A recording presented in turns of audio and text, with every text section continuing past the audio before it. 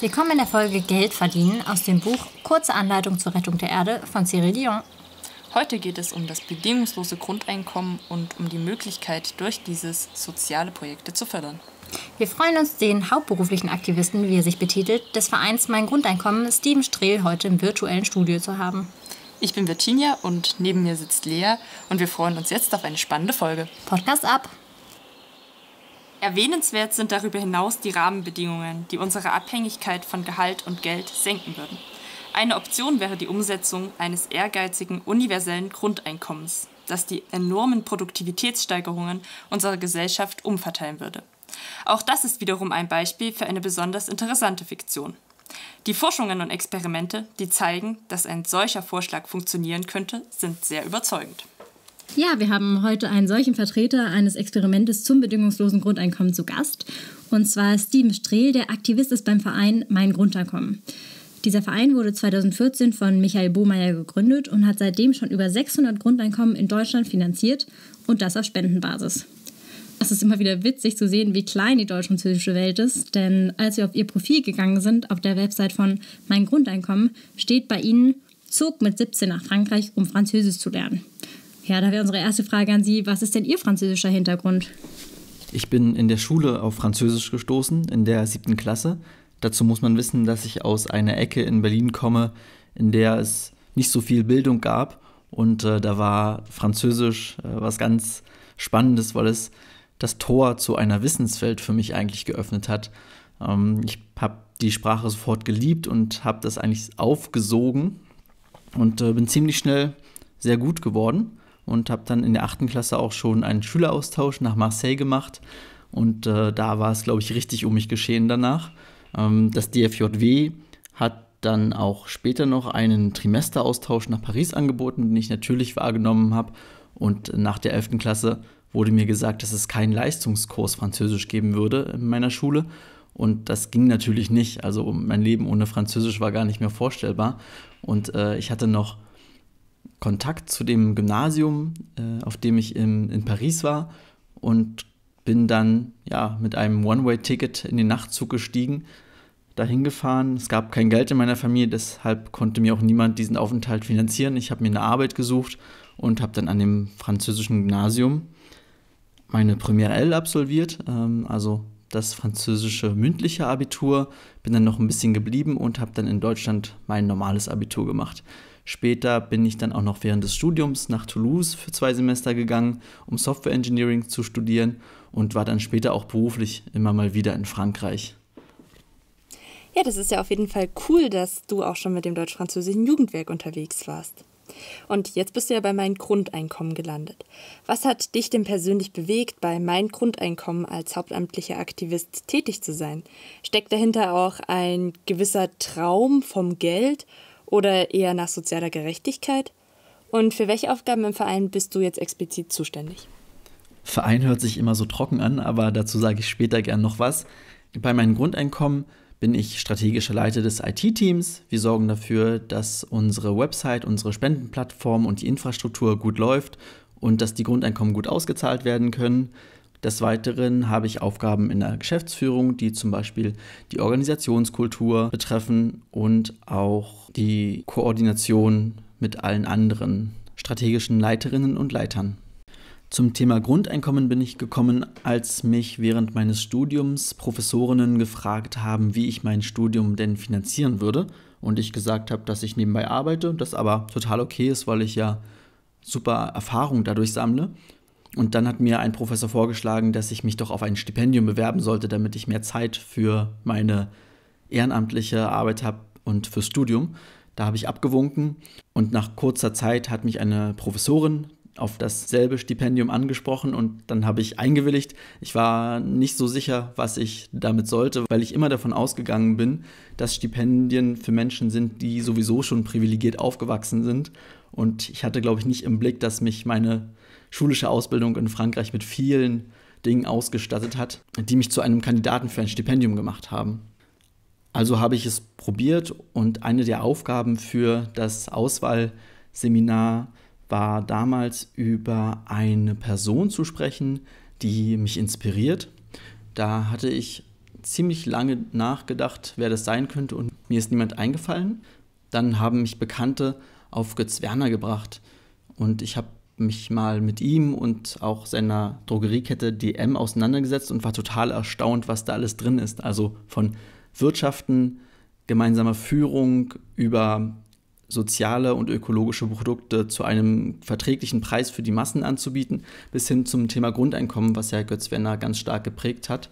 Und ja, über dieses Thema habe ich dann auch mein Stipendium bekommen und habe dann später mich weiterhin damit beschäftigt, war in einem Kolloquium mit anderen Stipendiatinnen und Stipendiaten und da wurde mir so ein bisschen langweilig, als wir das Thema so wissenschaftlich nicht auseinandergenommen haben, aber die verschiedenen Theorien und die Pros und Kontras diskutiert haben, weil es am Ende häufig gar keine versöhnliche oder neugierige Lösung gab, äh, das Thema zu betrachten, sondern im schlimmsten Fall einfach nur noch die Finanzierungsfrage, die das Totschlagargument war.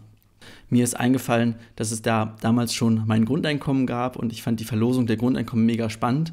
Und ich habe vorgeschlagen, dass wir Stipendiatinnen und Stipendiaten doch einfach ein oder zwei Monate unseres Stipendiums an mein Grundeinkommen schenken könnten, damit es Menschen bekommen, die nicht vorher auf ihr akademisches Potenzial geprüft werden und einfach mal mit dem Gedanken ranzugehen, dass jeder Mensch in unserer Gesellschaft Potenzial entfalten kann, wenn die Grundbedürfnisse gesichert sind. Ja, und diese Idee ist super angekommen. Ein Jahr später habe ich dann angefangen, bei meinem Grundeinkommen als Informatiker zu arbeiten. Ja, dann ist es ja doch ein sehr spannender Weg, wie du zu dem Verein Mein Grundeinkommen gekommen bist. Wenn man sich die Webseite von eurem Verein so anschaut, dann gibt es da wirklich viele spannende Sachen. Natürlich zuerst einmal die Verlosung von den Grundeinkommen, dann kann man seine Freundeskreise auf der Webseite aufbauen, man kann zum Crowdhörnchen werden, es gibt Grundeinkommen sogar schon für Kinder und ihr habt auch eine etwas andere Organisation eures Vereins, als man das vielleicht sonst gewohnt ist.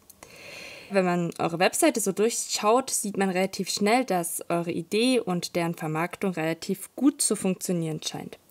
Kannst du uns einen kleinen Einblick in die Philosophie eures Vereins geben und auch vor allen Dingen, wie ihr euch organisiert, weil das ja doch ein bisschen speziell bei euch ist? Wir sind als Verein organisiert und zwar auf eine ganz spezielle Art und Weise, denn wir sind alle Mitglieder und Angestellte. Das heißt, bei uns gibt es keine ehrenamtlichen Mitarbeiterinnen und Mitarbeiter und auch keine Menschen, die nur Mitglieder sind, sondern uns gehört sozusagen der Verein, in dem wir alle unsere Chefs und auch die Angestellten gleichzeitig sind. Wir haben das Prinzip, Grundeinkommen nach außen und nach innen zu leben. Das bedeutet vor allem, dass wir uns unser Gehalt am ersten des Monats auszahlen, also nicht erst nach einem Monat Arbeit, sondern das erste, was eine Person bekommt, wenn sie bei uns anfängt, ist ein Gehalt. Dann ist das Gehalt in einem Bedarfsprinzip organisiert. Das bedeutet, man bekommt unabhängig von der Seniorität und von der fachlichen Qualifikation so viel Geld, wie man braucht, um den Kopf frei zu haben, bei uns zu arbeiten. Außerdem kennen wir alle gegenseitig unsere Gehälter. Das führt zum Beispiel dazu, dass die Menschen, die in der Geschäftsführung arbeiten, nicht unbedingt die höchsten Gehälter haben. Die Entkopplung von Seniorität oder fachlicher Kompetenz und Gehalt führt dazu, dass wir uns in unseren Rollen, die wir ausfüllen, darauf konzentrieren können, die Sachen gut zu machen, die wir können und die wir wollen und nicht zum Beispiel auf eine höhere Position schielen, weil es da ein höheres Gehalt gibt. Also wenn man mehr Geld braucht, dann kann man das einfach sagen und wenn man weniger braucht, kann man das auch sagen. Mit einer Beförderung sozusagen geht nicht automatisch eine Gehaltserhöhung bei uns einher. Das ist ein sehr, sehr spannendes Experiment. Außerdem ist es ein sehr, sehr wichtiger Aspekt, wenn man bedenkt, dass wir ja auch Erfahrungen sammeln wollen, wie Grundeinkommen funktioniert. Das heißt, wenn man über die Höhe des Gehaltes nicht mehr verhandelt und es auch kein Sanktionsmittel bei zum Beispiel schlechter Arbeit oder sowas ist, dann muss man in der Führung andere Pull-Faktoren sozusagen einsetzen, um mit Menschen ins Gespräch kommen zu können, wie die Qualität der Arbeit ist oder wie auch die Priorisierung der Arbeit ist zum Beispiel. Und das wird uns in einer Gesellschaft mit Grundeinkommen auch ins Haus stehen. Ja, das war auf jeden Fall spannend zu hören, wie ihr euch in eurem Verein organisiert und dass das halt nicht so ganz gewöhnlich abläuft. Und natürlich wird es dann für eine Welt von morgen, in der es vielleicht auch ein Grundeinkommen geben kann, notwendig sein, dass man da auch andere Formen der Organisation findet. Jetzt allerdings nochmal zu den Verlosungen von den Grundeinkommen. Vielleicht kannst du uns darüber noch ein bisschen mehr erzählen. Ja, na klar. Die Verlosung ist unser Kerngeschäft sozusagen, wenn man das mal unternehmerisch betrachtet. Und zwar verlosen wir im Schnitt im Monat zwischen 10 und 20 Grundeinkommen. Das heißt 1000 Euro im Monat für 12 Monate an Personen, die dort gezogen werden aus der digitalen Lostrommel.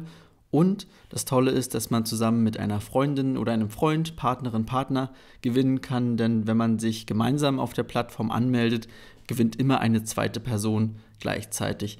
Das ist ganz schön, weil man dann gemeinsam über die Erfahrung von Grundeinkommen sprechen kann und unser Ziel ist es ja, die Geschichten zu Grundeinkommen in die Welt zu tragen, um Menschen zu zeigen, wie es sein kann, mit Grundeinkommen zu leben, was das aus verschiedenen Lebensentwürfen macht. Und äh, zu zweit ist das natürlich nochmal was ganz anderes, als wenn man es allein hat. Ein weiterer spannender Aspekt bei unserer Verlosung ist die Finanzierung der Grundeinkommen. Und zwar haben wir 160.000 Einzelspenderinnen und Spender, die uns knapp 4 bis 5 Euro im Monat zur Verfügung stellen und damit die Anzahl der Grundeinkommen bestimmen, die wir verlosen können und natürlich unsere Vereinsarbeit finanzieren. Das Tolle an diesen vielen kleinen Einzelspenden ist, dass wir komplett unabhängig sind von großen Geldgebern und von der Politik. Das heißt, wir können unsere Ideen ganz radikal ausprobieren, so wie wir es wollen und haben da keine Beschränkungen. Was im Fall des Grundeinkommens bedeutet, dass wir das utopischste oder das schönste Grundeinkommen auszahlen können, was man sich vorstellen kann. Nämlich es gibt keine Bedürftigkeitsprüfung. Die Person bekommt das Geld für sich und nicht für den ganzen Haushalt. Es wird nicht abgezogen vom Lohn, sondern es ist on top. Es kommt jeden Monat pünktlich aufs Konto und es gibt nur einen kleinen Wermutstropfen, der aber leider außerhalb unserer Kontrolle ist.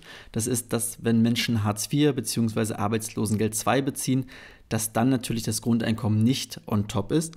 Was wir aber gehört haben von Menschen, die vorher ALG 2 bezogen haben und nun von uns das Grundeinkommen bekommen, dass es unglaublich was ausmacht, ob das Geld bedingungslos aufs Konto kommt oder ob man regelmäßig zum Amt gehen muss und sich dort komplett nackig machen muss, sozusagen privat und beruflich.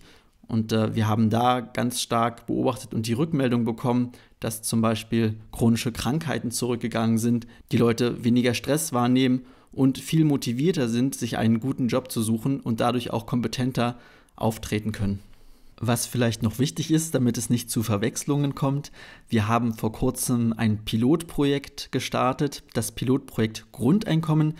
Da verlosen wir kein Geld, sondern es werden 120 Menschen mindestens ausgewählt, die drei Jahre lang jeden Monat 1200 Euro bekommen und vom Deutschen Institut für Wirtschaftsforschung begleitet werden, um dadurch die Annahmen, die wir durch unsere Gespräche mit unseren Gewinnerinnen und Gewinnern machen, hoffentlich zu verifizieren und in Grundlagenforschung umzuwandeln. Das heißt, da kommt sozusagen raus, ob das, was wir gerade in unseren Geschichten beobachten, wissenschaftlich belastbar ist oder ob es nur ein Zufall ist, dass gerade unseren Gewinnern es so gut geht in den vielen Lebensbereichen, also Arbeit, Familie und äh, Freizeit.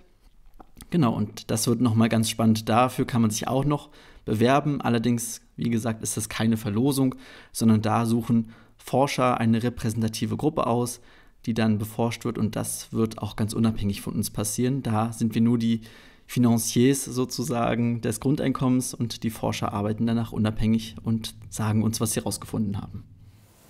Das bedingungslose Grundeinkommen wird ja von Dion als einer der stärksten Antriebe, die sich eine Gesellschaft nur vorstellen kann, bezeichnet.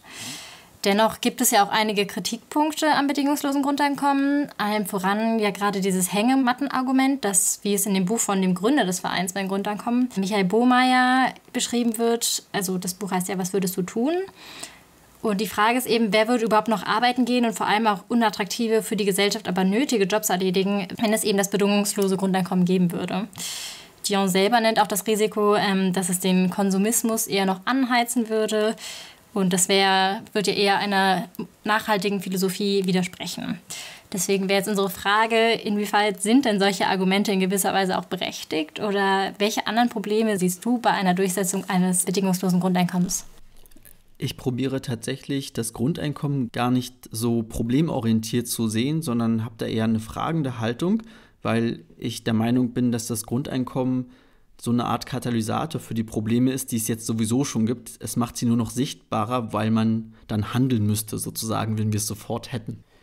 Warum machen denn Menschen heute Jobs, die sie in einer Gesellschaft mit Grundeinkommen nicht machen würden oder von denen wir denken, sie würden sie nicht machen?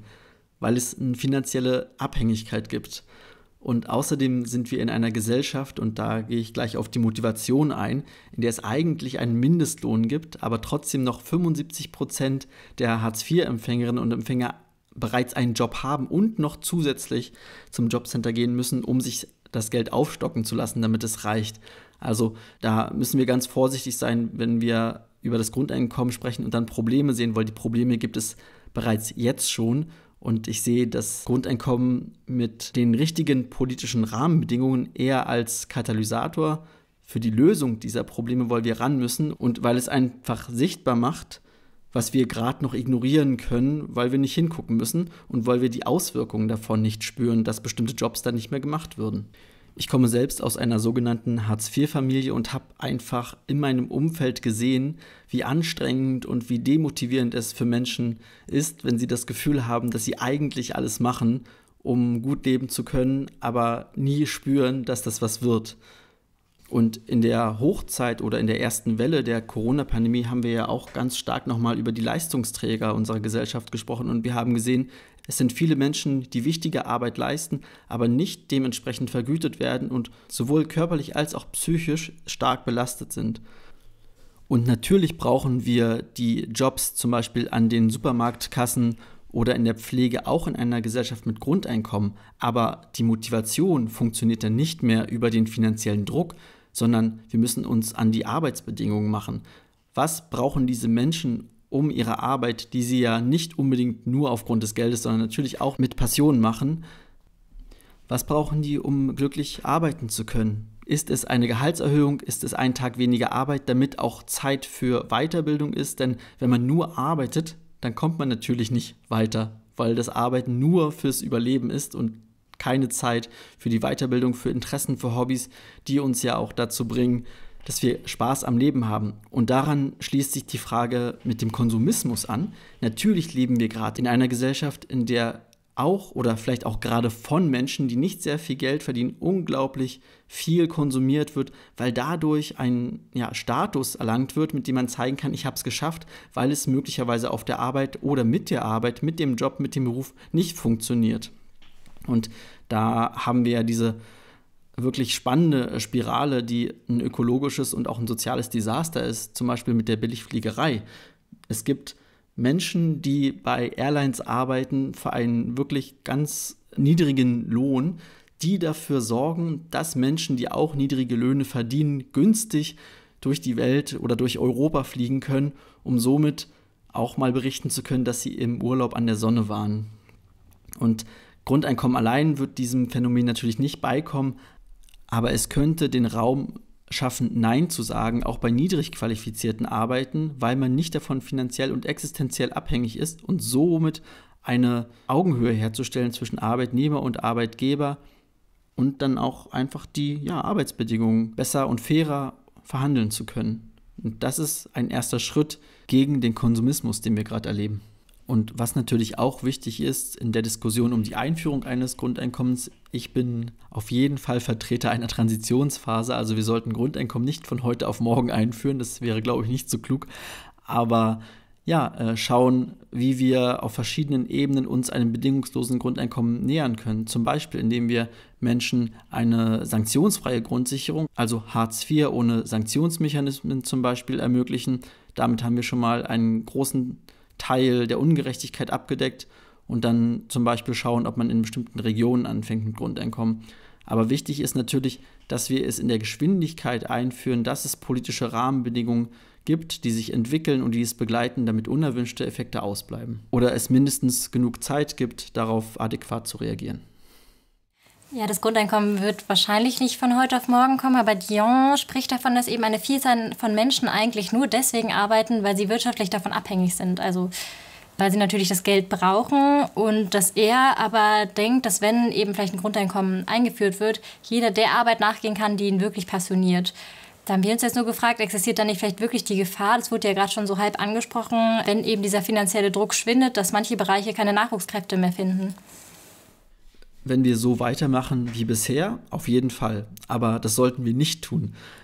Ich habe selbst während meines Zivildienstes als Pflegekraft in einem Altenheim gearbeitet und muss sagen, ich habe hoch empathische Menschen kennengelernt, hoch motiviert, denen aber gleichzeitig so viel abverlangt wurde, dass es wirklich fast wehgetan hat, dazuzuschauen. Und hier finde ich es auch ganz schwierig, von einem Nachwuchsproblem zu sprechen. Es ist tatsächlich eher ein Anreizproblem. Anfang des Jahres ist eine Studie rausgekommen, in denen junge Leute zur Attraktivität von Pflegeberufen zum Beispiel befragt worden sind. Und die Attraktivität war unglaublich hoch und wurde als sehr wirksam für die Gesellschaft und als erfüllend eingeschätzt. Was aber auch in dieser Studie rauskam, war, dass die jungen Leute gesagt haben, dass es aber für sie eher nicht in Frage kommt, in diese Branche zu gehen oder sich in die Richtung auszubilden, weil die Vereinbarkeit von Beruf und Familie und die finanzielle Vergütung einfach zu gering sind. Und da sind ja tatsächlich für die Politik ganz offen auf dem Tisch zwei Handlungsoptionen, um das sogenannte Nachwuchsproblem zu lösen. Das muss nur gemacht werden. Also all die Dinge, die als problematisch für die Einführung eines Grundeinkommens angeführt werden, da gibt es häufig, sage ich jetzt mal, nicht für alle so, so einfache Antworten, aber schon ganz häufig liegt da was auf dem Tisch, was man angehen muss einfach. Ich glaube, wenn man sich Grundeinkommen mal ganz konstruktiv und angstfrei anschaut, dann muss man akzeptieren, dass natürlich ein gesellschaftlicher Kulturwandel damit einhergeht, also vor allem auch unsere Definition von Arbeit. Und das heißt auch, die Arbeit anerkennen, die schon gemacht wird, zum Beispiel die viele Care-Arbeit, die von Frauen vor allem gemacht wird. Und die ist ja sozusagen in dem Konzept von Grundeinkommen auch mit drin. Zurzeit ist es so, dass Frauen ja nichts in ihrer Rente davon sehen, dass sie sich entweder um Kinder oder um Familienangehörige häufig kümmern oder den Haushalt schmeißen. Und da gibt es die zwei Perspektiven. Einmal die Arbeit, die nicht mehr gemacht wird, auf der einen Seite, und einmal aber auch die Arbeit, die schon gemacht wird gerade, aber nicht vergütet wird. Und da müssen wir natürlich auch nochmal schauen, ob ein Grundeinkommen überhaupt genug ist für Care-Arbeit, 1000 oder 1200 Euro im Monat, aber das ist eine andere Debatte. Wenn es um Arbeit geht oder um Arbeit, die gemacht werden soll oder nicht mehr gemacht wird vielleicht, dann sehe ich tatsächlich häufig eher Lösungen als Probleme, denn wir haben ja sowohl die Stellschraube Anreize erhöhen, als auch die Stellschraube Automatisierung. Also wir können uns unsere Gesellschaft der Zukunft ja gemeinsam so bauen, wie wir sie haben möchten. Dort Menschen wo sie wichtig sind und ihnen dann auch die Wertschätzung sowohl finanziell als auch mit den Arbeitsbedingungen ermöglichen und auf der anderen Seite Jobs, wo wir wirklich sagen, die sollten Menschen nicht tun, die dann einfach auch automatisieren.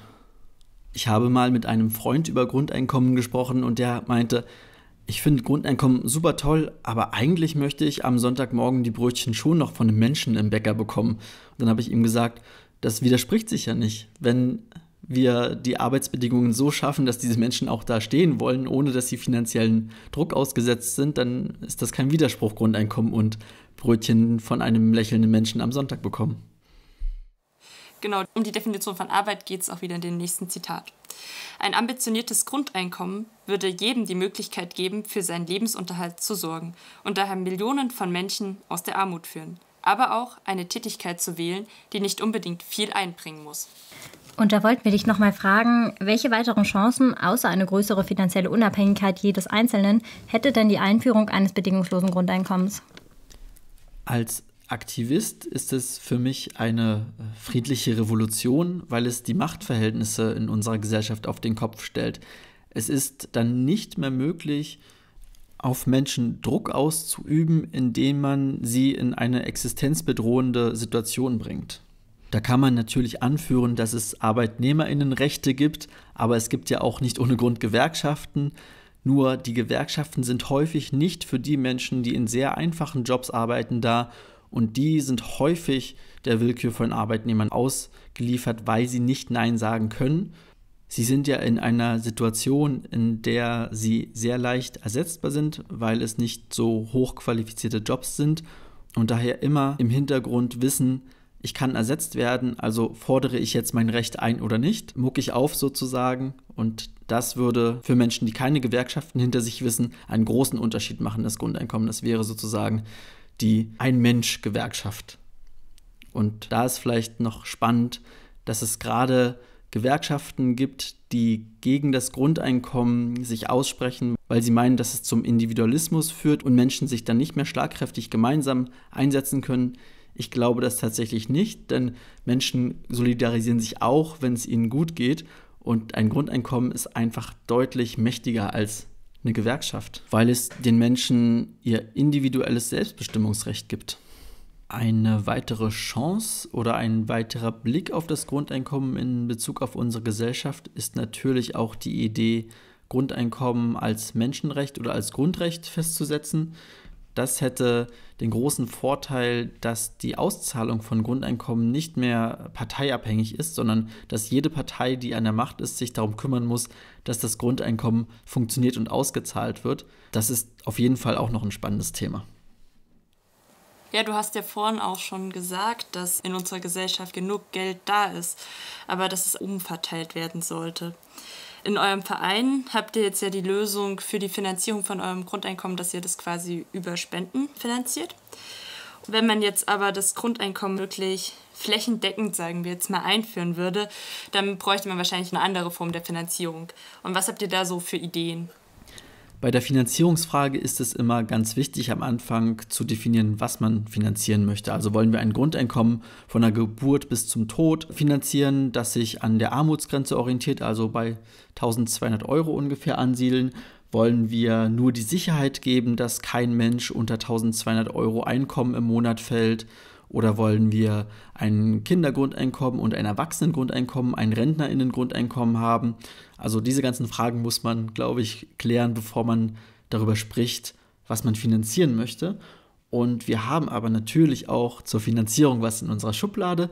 In unserem Pilotprojekt Grundeinkommen wird es eine zweite Phase geben. Wenn sich in der ersten Phase bestätigt, dass die Effekte von Grundeinkommen auf Menschen, die wir beobachtet haben, auch wissenschaftlich nachweisbar sind, wollen wir herausfinden, ob denn die Auszahlung von 1200 Euro auf das Konto den Effekt hat oder ob allein die Sicherheit reicht, niemals unter 1200 Euro im Monat fallen zu können. Und das ist natürlich dann Ausgang für eine weitere Studie, die man sich vorstellen kann, die dann schaut für die Bundesrepublik Deutschland, wenn man weiß mit einer Sicherheit, dass Personen nicht unter Betrag X im Monat fallen mit dem Einkommen, haben wir genau die gleichen positiven Effekte auf das Leben wie mit einem Grundeinkommen, das man voll auszahlt.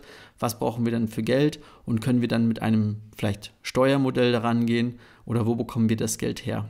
Das ist der Weg dahin zu einem Finanzierungsmodell. Ich glaube, das ist auch noch nicht abschließend geklärt, aber es gibt ja sehr, sehr viele Ideen und Forschung dazu, wie man Grundeinkommen finanzieren könnte. Und natürlich auch immer ganz wichtig, außer dass wir das Geld beschaffen, müssen wir uns immer auch vor Augen führen und auch nochmal berechnen, was wir alles an Geld sparen, wenn wir Grundeinkommen haben. Also die Arztbesuche aufgrund von psychischen Erkrankungen, aufgrund der, des Stresses oder der Unzufriedenheit auf der Arbeit, die sind ja unglaublich gestiegen und wenn wir über Grundeinkommen es schaffen, dass Menschen zufriedener sind, dann gehen auch da die Kosten für das Gesundheitssystem runter und ich glaube, die sind nicht zu vernachlässigen in dieser Berechnung. Also es ist, glaube ich, ein bisschen komplexer als äh, 1200 Euro mal Mensch mal Monat zu rechnen.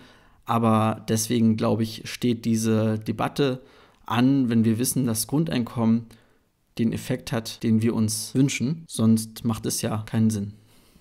Und wenn man sich noch weiter damit beschäftigt, also alles, was Geld ist, bedeutet ja auch Volkswirtschaft. Und Volkswirtschaft bedeutet, dass wir, bevor wir ein Grundeinkommen einführen, ja auch bestimmte Gütekriterien oder Ziele definieren müssen, damit wir wissen, ob Grundeinkommen denn unsere Gesellschaft dorthin gebracht haben, wo wir uns unsere Gesellschaft vorgestellt haben. Das sind demokratische Prozesse, die wir gemeinsam machen müssen, wenn wir uns in Richtung Grundeinkommen bewegen.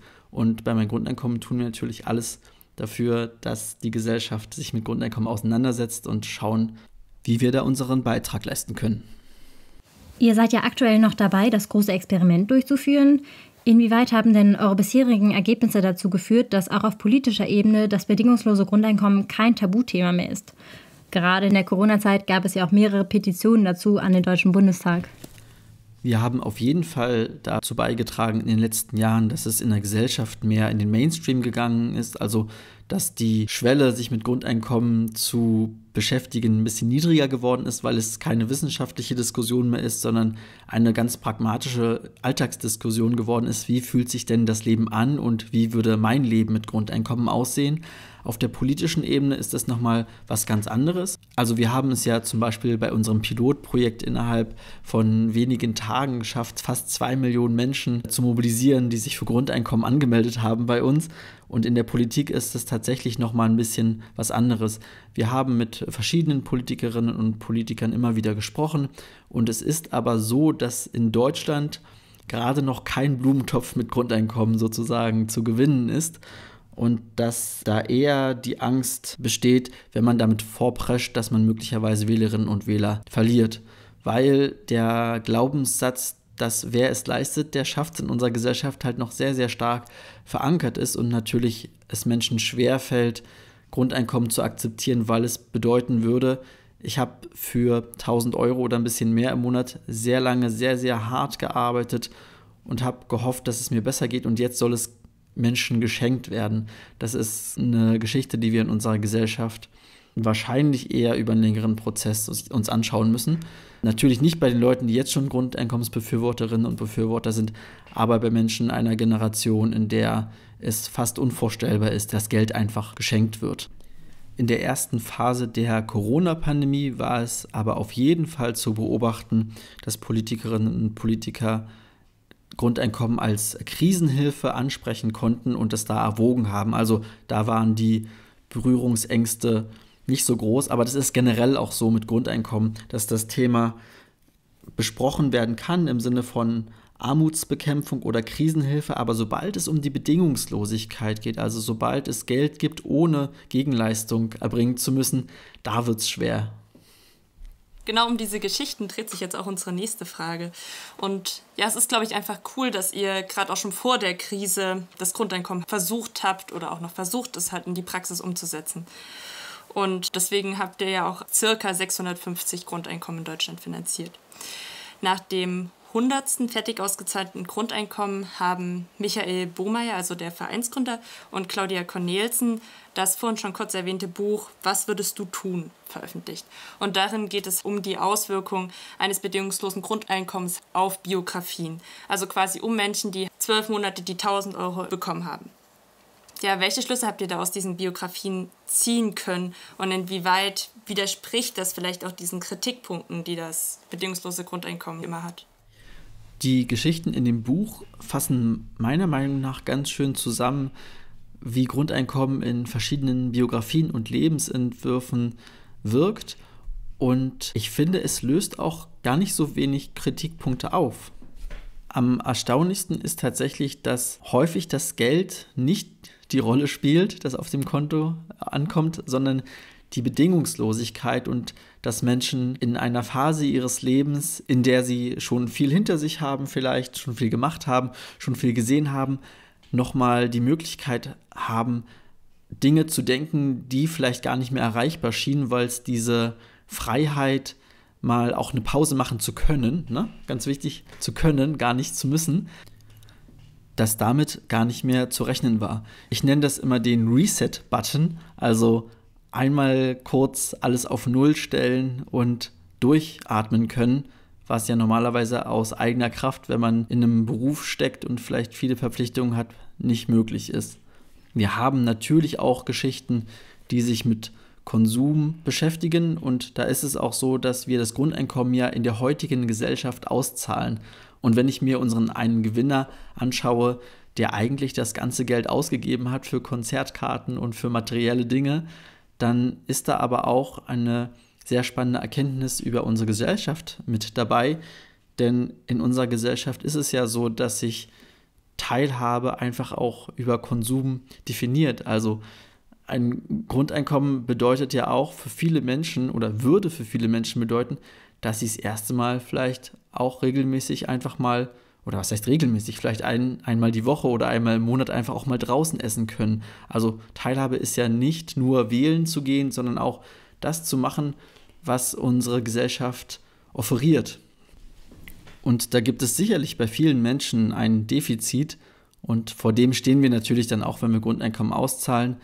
Und hier aber wieder der Hinweis von mir, Grundeinkommen kommt nicht von heute auf morgen, also beziehungsweise ich lasse mich überraschen, ich glaube es eher nicht, ähm, sondern kommt in einer Transitionsphase, in der wir natürlich auch schauen, wie wir unsere Gesellschaft verträglich umbauen. Ein anderer Punkt, der vielleicht auch als Kritik oder Angstpunkt häufig angesprochen wird, sind die Kündigungen. Das haben wir nicht so häufig bei unseren Gewinnerinnen und Gewinnern beobachten können oder es wurde uns nicht so häufig berichtet. Aber wenn es so war, dann waren es tatsächlich eher Momente des Empowerments. Also Menschen, die zum Beispiel drei Jobs hatten und dann noch zwei Jobs brauchten oder die endlich mal Nein sagen konnten und dann einfach auch rausgehen konnten aus einer Arbeit, in der sie vielleicht auch Rassismus oder Sexismus ausgeliefert waren und aufgrund der finanziellen Notwendigkeit da nicht raus konnten. Und der größte Teil der Menschen, die uns davon berichtet haben, dass sie ihren Job gewechselt haben, waren aber Menschen, die sich weitergebildet haben und dadurch eine höhere Qualifikation in einem neuen Job erreicht haben. Und das ist wirklich der Boost, der Grundeinkommen geht. Und auch ganz spannend in Bezug auf das Grundeinkommensexperiment in Kanada, das ja nie komplett ausgewertet worden ist. Da gab es einmal die Sicht von außen drauf, dass junge Menschen später angefangen haben zu arbeiten und die Interpretation war Faulheit. Wenn man sich aber die Zahlen und Daten angeschaut hat, hat man gesehen, dass die einfach deutlich länger in der Schule waren und später in den Arbeitsmarkt gekommen sind oder später arbeiten konnten, aber eine deutlich höhere Ausbildung haben und damit besser qualifiziert waren. Also das ist ja tatsächlich wünschenswert für unsere Gesellschaft, dass das passiert. Und dieser Druck, schnell in die Arbeit zu kommen oder auf jeden Fall zu arbeiten, das ist auf jeden Fall auch eine Frage der Transition und der Wertschätzung, was wir in unserer Gesellschaft brauchen und was wir fördern wollen und wie viel Zeit wir den Dingen auch einräumen. Wir versuchen das ja immer so ein bisschen alles aus einer europäischen bzw. deutsch-französischen Perspektive zu sehen. Und da wird uns jetzt nochmal interessieren, also ich denke, ein Grundeinkommen hängt natürlich auch immer von nationalen Bedingungen ab, nationalen politischen Bestimmungen. Aber euer Projekt kann man ja schon so durchaus als Pionierprojekt für das bedingungslose Grundeinkommen sehen, zumindest in Europa. Gibt es denn weltweit oder auch europaweit ähnliche Bestrebungen und Experimente wie euren Verein? Ja, es gibt in Europa mehrere Länder, in denen unser Crowdfunding-Modell auch implementiert wurde. Und zwar waren das die Niederlande, die Schweiz, Österreich und Frankreich. Wir haben auch vor einigen Jahren mal in den USA geholfen bei solch einem Projekt. Die sind alle nicht so groß geworden wie wir. Das hat äh, verschiedene Gründe, womöglich die Kommunikation, aber auch die Kultur in Frankreich gab es, glaube ich, insgesamt sechs Gewinnerinnen und Gewinner. Das Projekt heißt Mon Revenu de Base und wurde von einem grünen Politiker gestartet. Und äh, warum die Projekte in anderen Ländern äh, Europas möglicherweise nicht so erfolgreich waren, hat, glaube ich, sehr viel damit zu tun, wo Grundeinkommen in der Gesellschaft steht, sozusagen, also aufgehangen ist. Hier in Deutschland, darüber haben wir ja vorhin schon gesprochen, ist es vor allem sehr stark bei Grundeinkommensbefürworterinnen in der Gesellschaft verankert und Politikerinnen und Politiker trauen sich eher nicht so an das Thema ran. In Frankreich ist es ein bisschen anders. Da gibt es, wie schon gesagt, den grünen Politiker in Paris, der das Projekt gestartet hat. Und in 13 Departements gibt es Politikerinnen und Politiker, die auf dieser Ebene probieren, das RSA, also die Sozialhilfe in Frankreich, in ein Grundeinkommen umzuwidmen. Da gab es unglaublich tolle Workshops und Zusammenkünfte von verschiedenen Akteuren der Gesellschaft. Ich habe in Bordeaux mit einer Politikerin gesprochen, die Menschen aus der Wirtschaft, aus der Sozialarbeit, aus der Zivilgesellschaft an einen Tisch gebracht hat und dann geschaut hat, was steckt hier eigentlich drin und wie können wir ein Grundeinkommen gestalten, das für uns alle gut ist und das sich nach einem Grundeinkommen anfühlt, das wir haben wollen. Und daraus ist ein Projet de loi geworden, das die Sozialhilfe RSA ersetzen soll. Und Korsika ist da zum Beispiel noch weiter gegangen. Habt ihr vielleicht schon von gehört? Diesen Sommer wurde angekündigt, dass in Korsika ein bedingungsloses Grundeinkommen über 500 Euro eingeführt werden soll für alle ca. 330.000 Einwohnerinnen und Einwohner. Das ist mega spannend, denn noch vor zwei Jahren wurde ich von der Ad-Hoc-Kommission zu Grundeinkommen in Korsika eingeladen und war damals schon unglaublich erfreut darüber, dass die Bedingungslosigkeit so wichtig war in Korsika, also dass es außer Frage stand, dass das Grundeinkommen an irgendwelche Gegenleistungen geknüpft sind. Und ich bin sehr erfreut, dass das jetzt so konkret geworden ist während der Corona-Krise. Und das Spannende ist im Vergleich zu uns, dass auch Korsika schon aufgrund des Autonomiestatus weitergeplant hat und gesagt hat, dass sie auch ein Finanzierungsmodell prüfen wollen. Und zwar wollen sie das Grundeinkommen von 500 auf 1000 Euro erhöhen und das mit einer erhöhten Einkommenssteuer finanzieren. Ich bin sehr gespannt, wie das weitergeht. Das bedeutet nämlich auch, dass wir in Europa möglicherweise so eine Art Grundeinkommen der Region haben. Das heißt, es gibt überall kleine Modellprojekte oder Projekte, die einem Grundeinkommen vielleicht noch nicht bedingungslos nahe kommen. Und dann schließt sich vielleicht so ein Teppich, wo erstmal lokale Modelle möglicherweise realisiert werden. Und vielleicht kommt es ja gar nicht top-down aus Brüssel, sondern bottom-up aus den europäischen Regionen. Und das fände ich ein sehr schönes Bild für unser Europa, was ja zurzeit unter Nationalismus leidet. Ja, auf jeden Fall spannend. Als du vorhin ein bisschen so über die Biografien gesprochen hast, wurde ja auch deutlich, dass teilweise dann so eine Umstrukturierung in der eigenen Arbeit, die man macht, passiert. Aber das muss ja auch nicht unbedingt immer mit einer Kündigung zusammenhängen.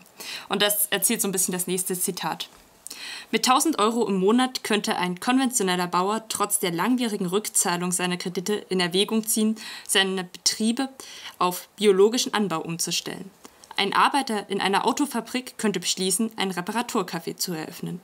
Ein leitender Angestellter in einem großen multinationalen Konzern könnte beschließen, seine Kompetenzen in den Dienst seines eigenen sozial oder ökologisch ausgerichteten Unternehmens zu stellen. Das klingt ja alles so, als könnte die Einführung eines bedingungslosen Grundeinkommens durchaus natürlich eine positive Auswirkung auf unser Verhalten und vor allem auf unsere Arbeitsgestaltung hin zu mehr Nachhaltigkeit haben. Siehst du denn da im bedingungslosen Grundeinkommen nicht nur auch eine sozial gerechtere Zukunft, sondern auch eine nachhaltigere? Auf jeden Fall. Also die Chancen sind groß, dass uns Grundeinkommen ermöglicht, nachhaltiger zu leben, weil jeder Mensch in der Gesellschaft nachhaltig leben kann.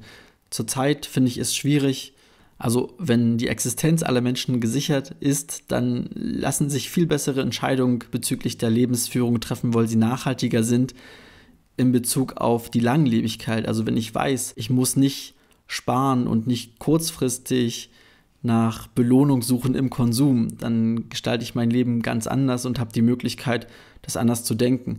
Das passiert natürlich durch Grundeinkommen, nicht automatisch. Da müssen wir wieder als Gesellschaft ran und schauen, wie wir Anreize dafür setzen, so zu leben. Aber das Grundeinkommen ist auf jeden Fall, glaube ich, eine Grundlage dafür. Denn einfach nur Verlangen von Individuen so kommen wir nicht zu einer nachhaltigen Gesellschaft. Da müssen wieder die politischen Rahmenbedingungen stimmen, dass ein nachhaltiger Lebensstil erstrebenswert ist und man sich den auch leisten kann. Und zudem werden vielleicht auch einfach einige Produkte nicht mehr produziert, weil die Arbeitsbedingungen so schlecht sind, um die Produkte zu einem geringen Preis zu produzieren, dass die Jobs keiner mehr macht. Und das wäre natürlich ein großer positiver Effekt vom Grundeinkommen, dass da vielleicht doch einige Arbeitsplätze wegfallen, über die wir gar nicht traurig sind. Und auch in diesem Bereich, ich erzähle das immer so ein bisschen lapidar, können wir auf die Verhaltensforschung zurückgreifen. Und da sehen wir, dass es viele Modelle gibt, die erforscht worden sind, wie Menschen zu guten und nachhaltigen Entscheidungen kommen und welche Rahmenbedingungen es dafür braucht. Das ist ähnlich wie mit der Finanzierung des Grundeinkommens oder den Anreizen. Wir können auf eine unglaublich reiche und komplexe Wissenschaft zurückgreifen in unserer Gesellschaft, die uns mit dem Grundeinkommen in einem interdisziplinären Diskurs unglaublich weit bringen kann. Ja, ich glaube, das war jetzt auf jeden Fall nochmal ein gutes Statement, dass du gesagt hast, dass das Grundeinkommen mehr ist, als es einfach nur auszuzahlen. Und mit unserer letzten Frage wollen wir jetzt auch nochmal auf die europäische Idee zurückkommen. Und die Frage an dich ist jetzt, inwiefern denkst du, dass man so ein bedingungsloses Grundeinkommen auch auf europäischer Ebene etablieren könnte und damit letztendlich auch die Ungerechtigkeit, die ja in Europa existieren, ja gegen diese vorgehen könnte? Ich habe das ja vorhin schon so ein bisschen anklingen lassen, wie meine Leidenschaft zu Europa ist. Und ich glaube, dass das Grundeinkommen das große Projekt sein kann, das Europa zusammenbringt, nämlich einerseits indem es die kulturelle Diversität Europas anerkennt und fördert und gleichzeitig, weil es bedeutet, dass wir mit Grundeinkommen ein gemeinsames Wertegerüst haben können, was die Sicht auf Arbeit und Würde des Menschen angeht. Und wenn wir es dann auch noch schaffen, dass das Grundeinkommen von unten kommt, also aus den verschiedenen Regionen Europas und gar nicht unbedingt von, von Staaten, dann fühlt es sich auch so an, als würde jede Region in Europa etwas dazu beitragen, dass ein Grundeinkommensteppich sich schließt. Denn es ist ja ganz klar, allein schon in Deutschland würde ein Grundeinkommen in München eine andere Höhe haben müssen als in Berlin zum Beispiel oder in Bremen. Und äh, so verhält es sich auch in Europa. Also ich stelle mir da eher ein Grundeinkommen vor, was an die lokalen Gegebenheiten angepasst ist. Und das würde dann zum Beispiel auch so eine Art von Pilgern zu den Luxusinseln vorbeugen, weil es erstmal nicht den Anreiz gibt, dass es irgendwo verhältnismäßig besonders viel Geld gibt. Und natürlich ist ein Grundeinkommen in einer Stadt oder in einer Region ein deutlich geringeres Risiko, was die Aussteuerung der Rahmenbedingungen angeht, als wenn man es auf nationaler Ebene testet. Ja, das war nochmal ein interessanter Aspekt zum Ende hin. Das habe ich vorher auch nicht so gesehen, dass man in der Tat dann wahrscheinlich so ein, so ein Pilgern haben könnte in bestimmte Regionen. Aber ja, ich glaube, wir sind gespannt, was so die Zukunft hält, wie das Grundeinkommen in Zukunft so plakatiert wird oder auch politisch behandelt wird. Deswegen erstmal vielen lieben Dank für das interessante Interview. Ich glaube, wir konnten viel Inputs daraus ziehen. Ja, von meiner Seite auf jeden Fall auch. Herzlichen Dank für die Einladung und auch danke an das DFJW für die vielen tollen Erfahrungen und hoffentlich bis bald in der frankophonen Welt. Das war unsere Folge zu Geld verdienen mit Steven Strehl von dem Verein Mein Grundeinkommen. Vielen Dank fürs Einschalten. Folgt gerne dem DFJW und dem Institut Français auf Social Media. Und bis bald. Bis bald.